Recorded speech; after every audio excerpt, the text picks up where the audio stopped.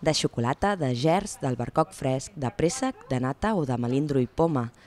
Les coques que innoven tenen també els seus clients i tot i que encara no poden competir en les tradicionals de llardons, de fruita o de crema, tenen prou sortida. Aquest any, però, Sant Joan cau just al mig d'un cap de setmana llarg i les previsions de vendes a la capital catalana no són gaire optimistes. Bueno, aquest Sant Joan esperem un 20% menys i aproximadament unes 1.500 coques, eh? perquè la gent esperem que com que cau en cap de setmana, pues, uh, espero que marxaran fora de Barcelona com és natural. Més o menys a Catalunya seran unes mm, 1.600.000 i a Barcelona en tindrem, vendrem unes coques unes 900.000.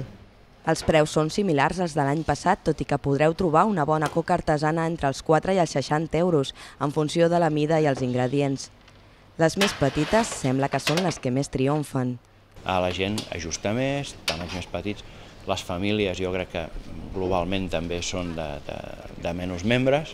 Bàsicament, si treballes amb, amb, de manera artesana i amb productes de qualitat, com és el cas nostre, els preus més o menys són per aquí. Una altra cosa ja són les coques que puguis trobar en una gran superfície, en un supermercat, fetes industrialment, això ja no té res a veure. Clar.